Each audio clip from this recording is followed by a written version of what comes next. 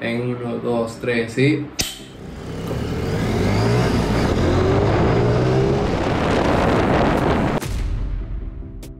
Así es, este soy yo luego de un trágico suceso.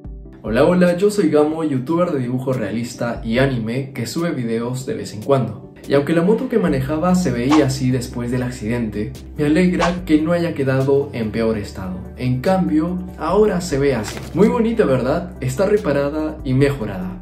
¿Y cómo pasó? Les cuento. Un día me tocaba ver un asunto en la universidad y como de costumbre la mayoría de veces siempre uso esa moto para cualquier compra o visita.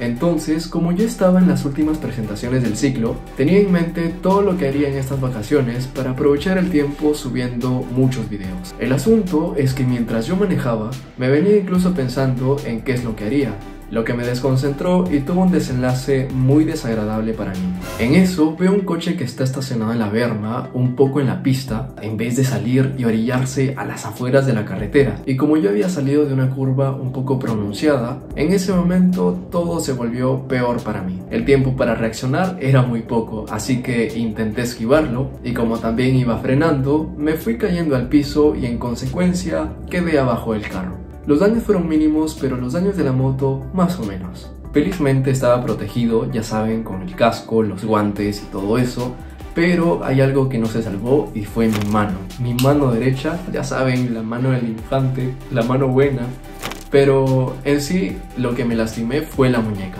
En la clínica me dijeron que debería estar con un yeso para evitar todo tipo de movimiento y así lograr una pronta recuperación de esta misma o sea, la recuperación de mi muñeca. Lo que implicaría que durante un tiempo estaría sin poder dibujar y hacer tareas básicas muy importantes como editar mis videos, lo cual significa que debo acostumbrarme a mi mano izquierda. Y como voy, pues no soy tan bueno haciendo las cosas con esta mano.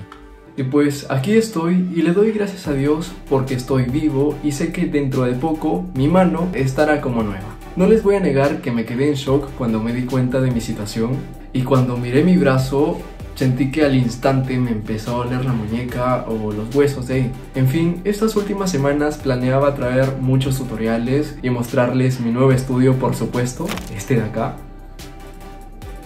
Entonces no tengo mucho más que contar o que me gustaría mencionar, básicamente así pasó. Y como el video estará aquí en YouTube, creí que sería buena idea recordarlo en unos años.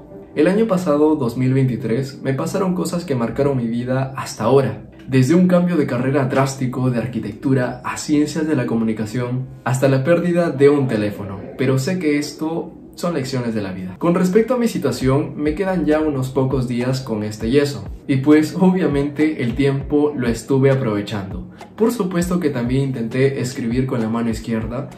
Me di cuenta que era muy difícil y por lo tanto ya no intenté dibujar porque era... Me saldrían unos dibujos cricosos, sinceramente.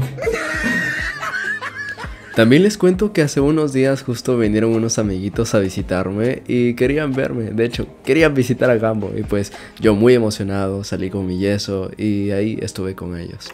Así que un saludo para Noé, Irma, Marcos y Matías y para todos ustedes que están viendo mis videos, muchas gracias por seguir apoyándome. Por lo tanto, estaré volviendo con más dibujos y videos cuando ya no tenga el yeso, así que les deseo un feliz año y déjame en los comentarios qué video o tutorial de dibujo te gustaría ver próximamente aquí en mi canal. Estaré leyéndolos a todos y dicho todo esto, les deseo mucha suerte mis queridos artistas y nos vemos en el próximo video. Chao chao.